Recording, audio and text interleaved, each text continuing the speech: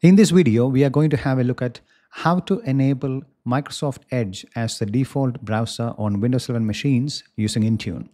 You can use the same scenario and the same policy to set default applications for other extensions as well. So for example, if you want to open up the PDF files using Acrobat Reader for all your users, or if you want them to use a browser, for example, Chrome or even Edge, you can do the same thing in this particular policy. Similarly, you can use any applications and any extensions as part of this particular configuration. We'll look that up as we go along. So to set the scene, I have a Windows 11 machine over here, my test machine. So let me close that off. And just to make sure that I don't have everything set up the way I want on this particular machine, let's go into settings and let's click on apps on the left hand side and let's check on the default apps. And let me just search for uh, Edge, for example. Let me just search Edge. That should come up. There you go. Now, Edge is not set as a default browser on this particular machine. As you can see, we have Google Chrome opening up HTML and HTML files. A few other extensions are set to be opened using Microsoft Edge along with PDF. And we have a few other ones. So it's not fully set for Microsoft Edge as the default browser. So HTTP and HTTPS again is set for Google Chrome. Now, ideally, we want all of these to be opened up using Edge as part of this particular scenario. So we want that particular policy to be configured in Intune and pushed down to this particular machine. So let's close that off and let me minimize the machine. Now, in order to set things the way we want, we have to use a Windows 11 machine. Any Windows 11 machine will do. It doesn't have to be joined to Entra ID or hybrid joined or anything of that sort. Any Windows 11 machine will do the job. So I have my machine uh, on which I'm recording this particular video, which is Windows 11. So let me go into the settings pane of that particular machine and let me go into apps and default apps. And here we have to set the applications the way we want. All the default app associations has to be set the way we want. So let me just search for Edge and let's make it as the default browser. So let me click on Edge and it is not set as a default browser currently. I could make it as the default one. So everything is now getting opened using Microsoft Edge. So PDF one, again, if you want Edge to be used to open a PDF, you could just change that and you can pick Microsoft Edge. If you don't want, you can just use anything else, maybe an Acrobat Reader. So all of these ones, I'm just setting it up as Microsoft Edge so that everything gets opened up using uh, Microsoft Edge. So as you can see, everything associated with the browser is being set to use the Edge browser. Similarly, if you have other applications, for example, you want all your users to open up video files using VLC player, you can again go into the default app, search for the VLC player, and you have to have this application installed on your machines to set up the association. So click on VLC, and then you can pick up the extensions that you want, and you can just choose VLC to be the default application. Now, the, the reason why we do that one is because once we set the machine using the default apps, we export all the configurations into an XML file and we use that XML file in the configuration profile within Intune. So set the machine the way you want with all the default applications. In this video, we are only setting it up for the browser. So we're just trying to make Microsoft Edge as the default browser. So we have done that on this particular machine. And let's close the settings pane. Now we need to open up Microsoft command prompt, Windows command prompt. So let's close and open up CMD run as administrator, click on yes. So we need to use the command line tool DISM, which is used for uh, Windows imaging and Windows service image servicing. And the command that we have is DISM slash online slash export dash default app associations. And then we are giving the path as to where we want that particular association file or the associations to be exported as an XML file. So we are putting it in ctemp and in a file called appassociations.xml. So let me press enter. So it says the operation completed successfully.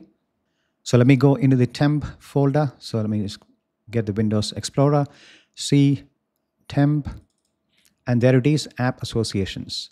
Now we need to open up this particular file using any compatible software that you have. So I have Visual Studio Code. So let me just use that. So it opens up the file and we have all kind of app associations, the default app associations. For example, BMP file has to be opened up using Photos, um, CAB files using Windows Explorer. Similarly, you have a lot of file extensions. And being mapped to the correct application. Now you can either keep all of these as it is or you can just choose the ones that you need. So in our case, we are just looking at Microsoft Edge. So let me just delete all of these ones. Uh, we'll keep the Edge one. We don't need the notepad and the photos. I mean, you can use those ones if you want to have a single policy which is pushing everything the way you need. But in my case, I don't need that. Let me just take out all of these ones. All the photos. Keeping the edge ones. There you go. So you could use Mail to over here if you want to use the new Outlook to be the application for email. You can use that. But in my case, I'm not trying to use that at the moment. So let me just take it off. I'm just interested only in the Edge applications. So here we have everything related to Microsoft Edge, which kind of sets up it as the default browser. So for all HTML, HTML, uh, PDF even, and HTTP, HTTPS, FTPs, XML, you know, everything associated with the browser will be opened up using Microsoft Edge. So this is the file that we want, the cut down version of the mappings. Now let's copy that across. Let's copy the file. And we have to use, or we have to convert this particular XML format into a base 64 format, which can be then used within the Intune portal's configuration profile. So for that, we go into any decoder websites. So let's say the one that we have is base 64encode.org will do the job. So we go into the website, it's a free one. We paste the information that we have copied and we click on encode. Now we copy this encoded data. So copy to clipboard, we copy that one and maybe we'll just keep it within the notepad just to be on the safe side. Let's minimize the notepad, close the file, close the window. Now let's get to business using the Intune portal. So we go into intune.microsoft.com. We go into devices on the left-hand pane, and we go into Windows, and we go into configuration profiles. So we have configured quite a few over here, over the videos that we have done so far. So similarly, let's click on Create and click on New Policy to create a new profile for Windows Intune. Now let's select the platform as Windows 10 and later, and the profile type as Settings Catalog. And let's click on Create. Let's give it a name. Let's say default apps, for example. I will do. Let's give the same as the description. Description is completely optional. And now let's click on next. And now within the settings catalog, let's click on add settings to bring up the settings picker on the right hand side. Let's click on application defaults. Double clicking on that one will give you two options on the bottom pane. So we have the default associations configuration, the first option which is what we need. So let's select that. So it appears on the left-hand pane over here. So let's close the settings picker. Now over here in the default associations configuration, we have to paste the base 64 format that we have converted from the XML. So for that, let's go back into the notepad. Let's copy everything across, select all, copy it, and let's just paste it over here. You have the green tick box. Let's click on next. Scope tags are completely optional, so let's click on next. Now within assignments, you could go for a group and probably it's best to go for a smaller group with just the IT machines, you know, give it out onto those particular machines, test it out and see whether you get the right experience that you need. And if you're happy with it, then you can come back to the same policy and then flip it to all the devices or go for a wider audience or a bigger group. Now in my tenant, I only have two machines at the moment, which is running Windows Intune. So let me click on add all devices and click next. Now here you get a summary of everything that we have done so far. So we are applying this default association config to all the devices. So let's click on create. Wait for the policy to be created. So it says it's all done. Let's just click the refresh button so that it gets listed within our policy. So here it is, default apps. Now, as you can see, it has not yet been pushed out to any machines.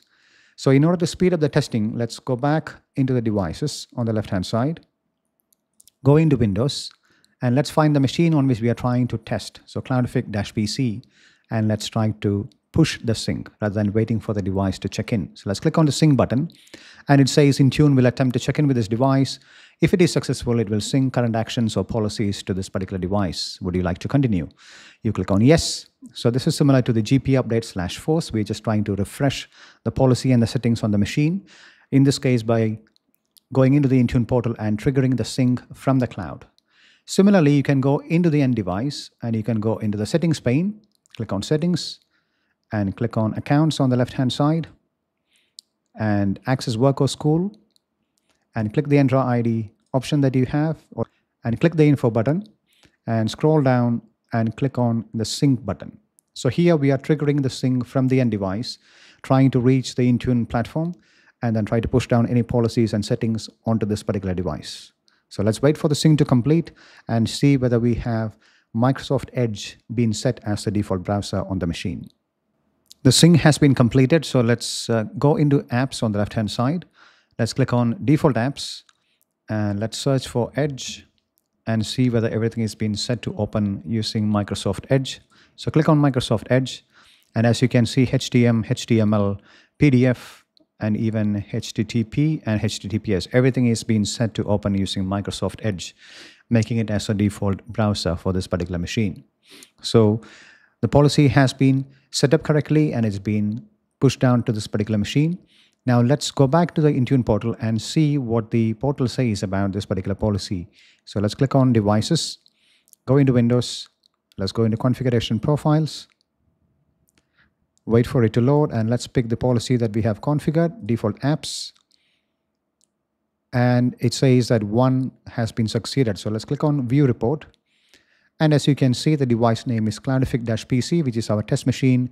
The user has been logged in is joy at cloudific.training and the check-in status is success. So it looks like the policy was updated successfully on the machine and the portal has been updated with that correct status. It depends on how fast the cloud behaves on a particular day. Sometimes the portal gets reflected pretty quick. Sometimes it takes a while. So just give it some time and it will in due course get updated within the Intune platform. So as, as long as the policy is getting pushed down correctly into the machine and you can verify it, you can just be rest assured that the policy success will be reflected into the Intune portal uh, in due course. So this is how we set up Microsoft Edge as the default browser on a Windows 11 machine by using Intune. So if this video has been informative for you, do check out my other videos in the channel and please consider subscribing to the channel as I upload videos on a daily basis around Microsoft 365, Intune and Azure. Thank you.